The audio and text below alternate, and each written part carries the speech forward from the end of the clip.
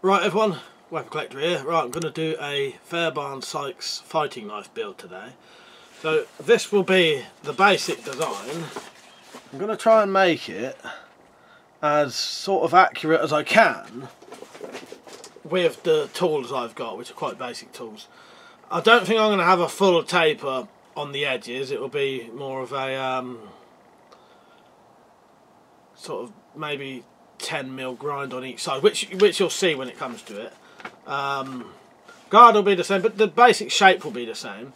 The handle, I don't know what material I'm using at the minute. I've no idea. I think I'm just going to have to see how it goes. I need to see how easy the metal will drill, how many holes there are, and all stuff like that. So, what I'm using is a weed slasher to make this project.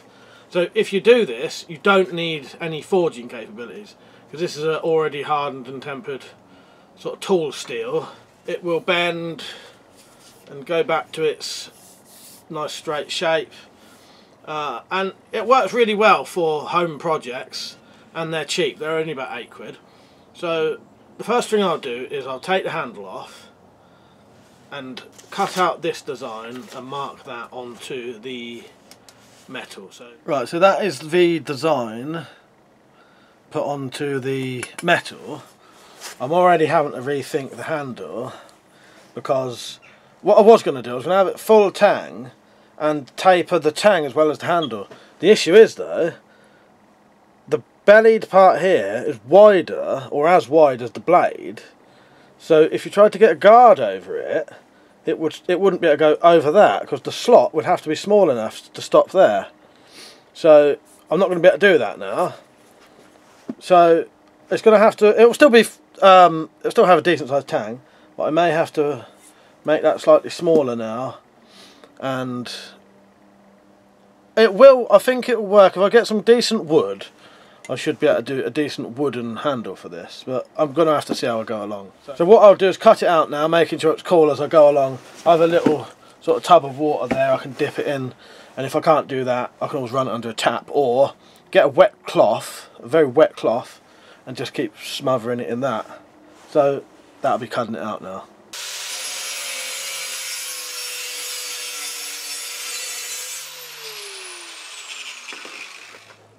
Right, so I've got the basic shape cut out. I'm just going to refine this now on my little belt sander, again keeping it cool as I go along. And then I can start putting the bevels on it. But that is the basic shape.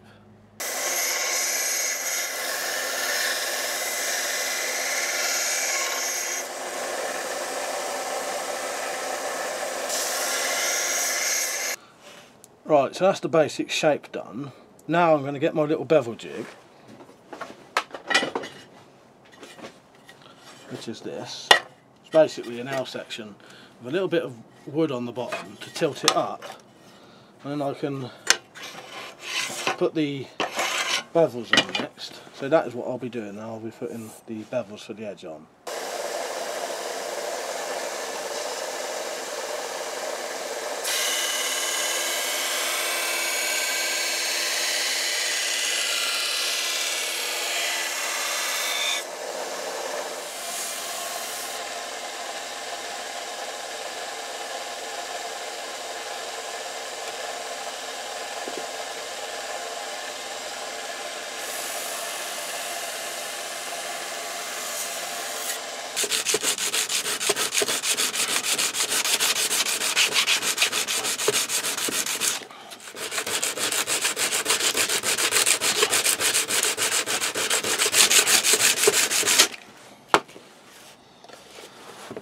So that's one side of the paint off. I'm going to turn it over, get the rest of the paint off the other side.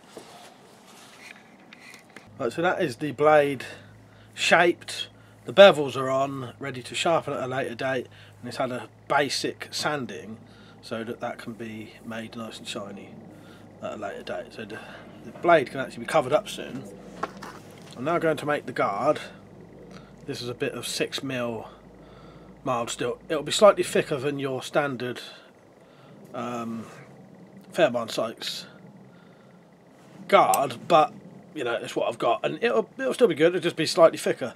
I don't know if you can see this, but that is the basic shape it'll be. So I'll be cutting off these corners, the taper in it. Can you see that? Not really sure. It's hard to see.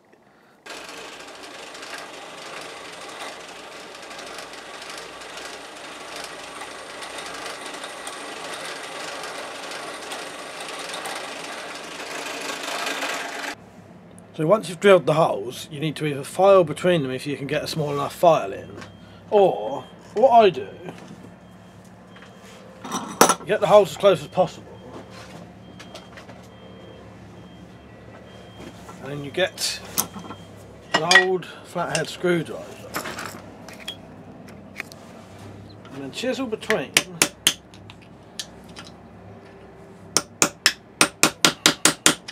The drill holes to knock out the bits basically.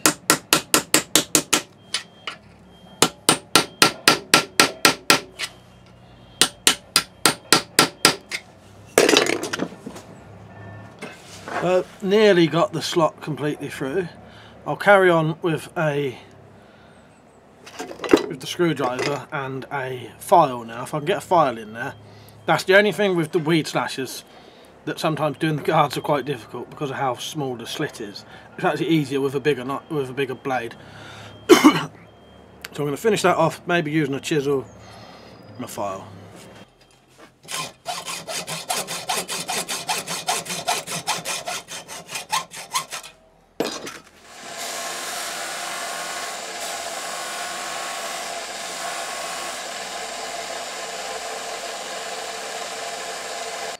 Getting there. It's got the very nice basic outline of the fair barn now.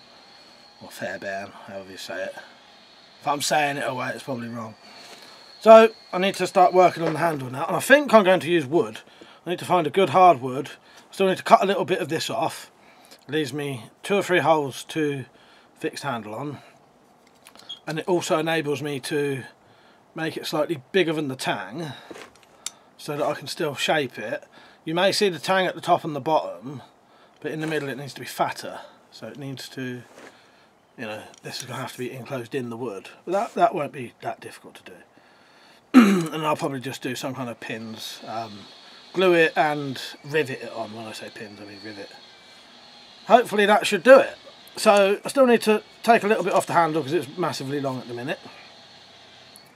And then I'll work out what I'm doing.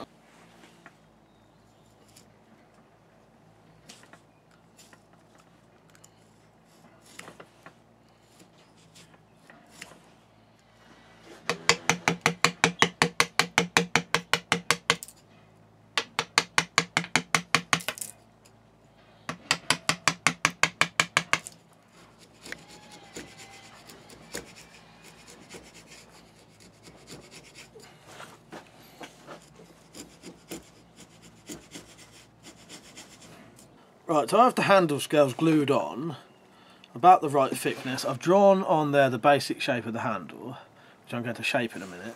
I've drilled the holes for the pins, which will basically just be nails. Uh, I did have one out somewhere.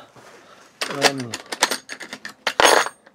right, I can't find it now, but somewhere is one of the nails that I'll do for pins.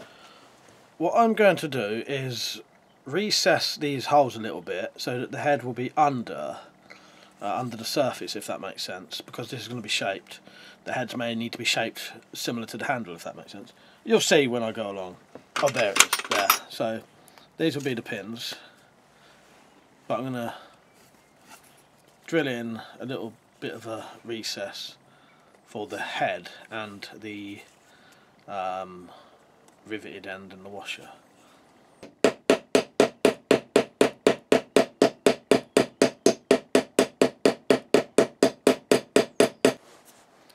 So I'm now probably going to just carve the handle.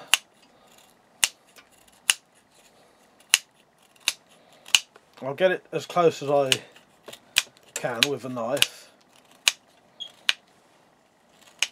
And then once I've got the basic shape, I can start sanding it. Right, so I've got the handle shaped and sanded. To have to stain it now, probably a dark stain because of some of the glue is black essentially, but that doesn't really matter. Um, I think it'll look better dark anyway. the blade has had a basic sanding again, so has the guard. So I'll keep sanding those. but yeah, what I think I'll do now is stain the handle and then I can wrap that up, completely cover it up and then put the edge on the blade and finish that. So I was worried that where the glue was it would um, stain not very well but it's making it appear like the grain so that's not too bad.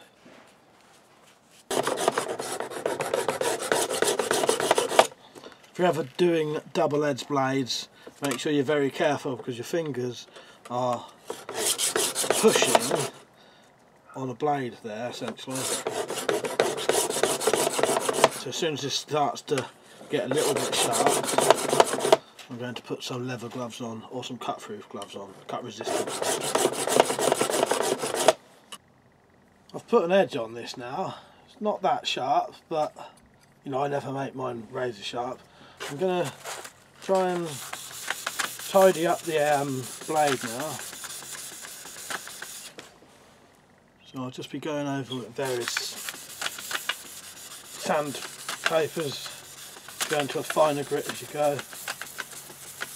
Right, I'm going to call it a day for this video and I'm going to do the sheath in a later video. So if you're watching this at a later date and the video is done, look in either one of the corners, a video should pop up.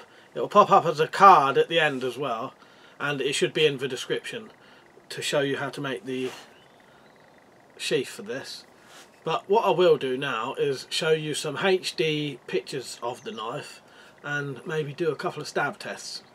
So don't forget to carry on watching. So yeah there it is. I'm very happy with that. I definitely want to make more of these and I may make some to sell if people are interested.